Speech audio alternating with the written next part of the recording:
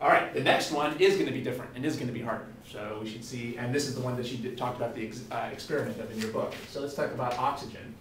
So let's try to use our book to get the right picture for oxygen. So again, we'll be doing diatomic O2 gas. Let's see, try to figure out what the diagram would look like for oxygen.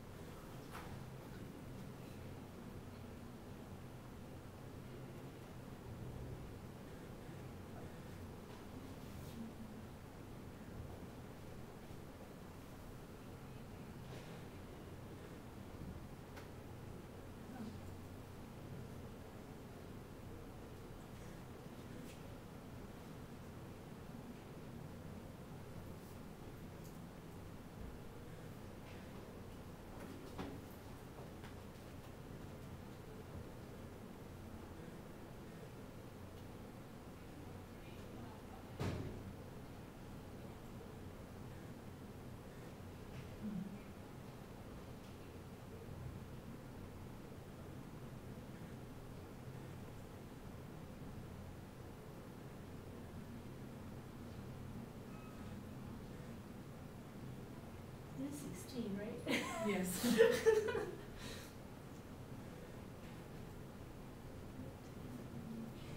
was just hoping, hold on.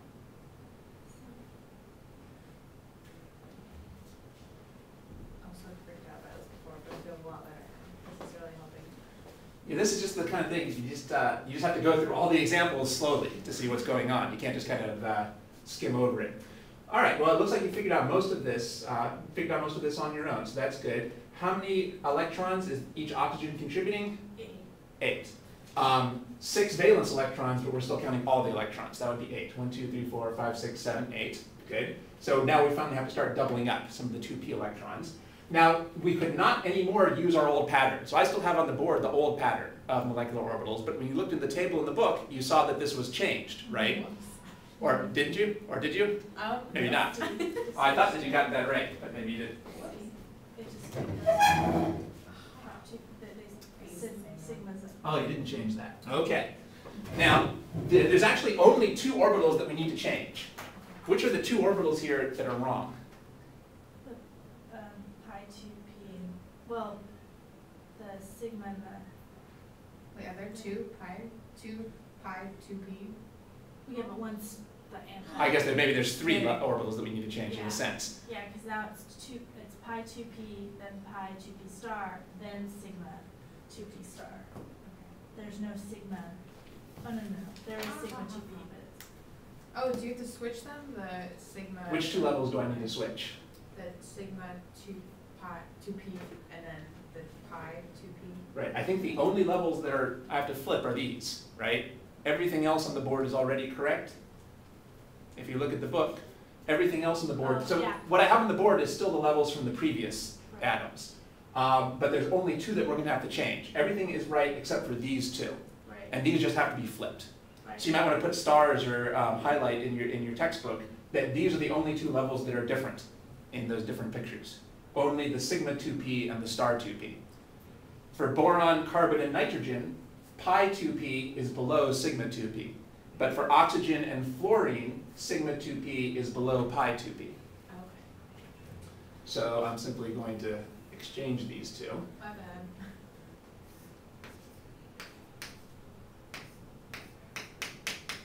I just flipped those two levels. This actually, I think, is more intuitive or, or makes more sense because this is now symmetrical with the antibonding orbitals. Um, but we're not going to explain why it's this way for oxygen and not this way for carbon. We're just looking it up in the book. So again, these are the two levels that you need to highlight. These are the two levels that are different for different diatomic uh, atoms. So do you guys agree that this would be the right picture? Yes. Okay, so now we need to place the electrons.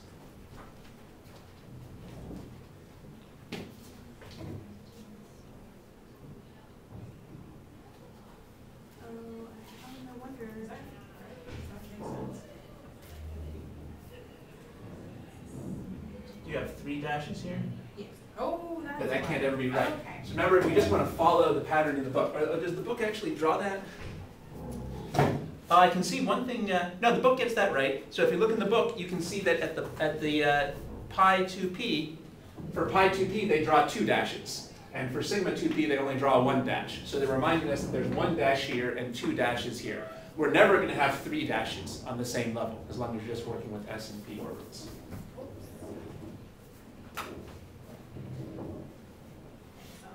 That looks better, good.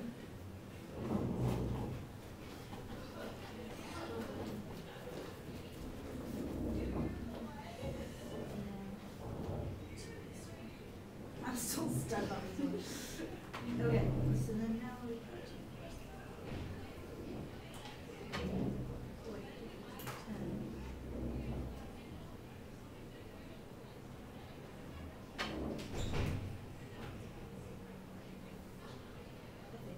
I think. Yeah, that looks good. How many electrons are we placing in total? Sixteen. One, two, three, four, five, six, seven, eight, nine, ten, eleven, and twelve, thirteen, and fourteen, fifteen, and where does the sixteenth go? Not here, but here, according to our Hund's rule, the bus rule. Okay, so this is the correct picture. Notice that it's futile to start putting in the electrons until you have the dashes in the right place. First we put in the dashes, only then do we put in the electrons. And notice this orbital still exists, even though it's empty. We still should draw it, even though there's nothing in it. Uh, okay, so now we can figure out the bond order.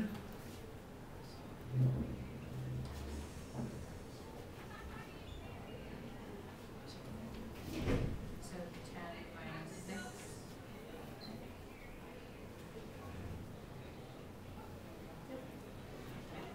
So that's two.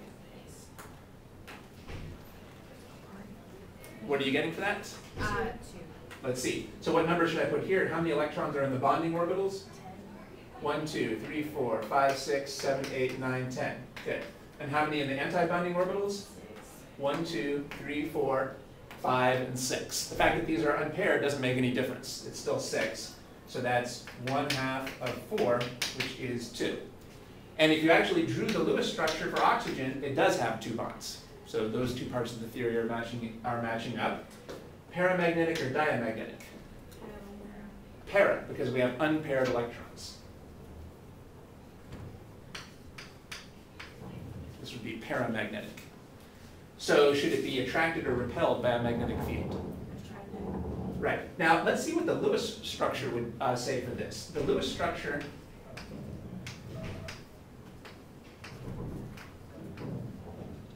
This is what we would draw as the Lewis structure, right? Okay, now this would be the Lewis structure for oxygen, right? So what does the Lewis model predict? Does the Lewis model predict that this is paramagnetic magnetic or diamagnetic? Para, well, paramagnetic. Well, no, diamagnetic. We got a contradiction then between the two models, right? This model is predicting unpaired electrons. But if you actually drew the Lewis structure for oxygen by counting the valence electrons, you would not find any unpaired electrons.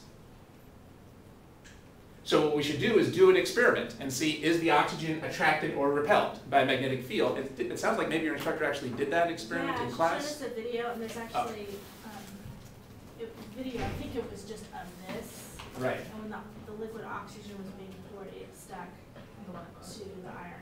Let's see, when liquid oxygen is poured into the space between the poles of the magnet, it remains there until it boils away, which means that it's being attracted by the magnet. Is that what we would expect for para or diamagnetic? Para, So which model is supported here? the molecular. The molecular theory.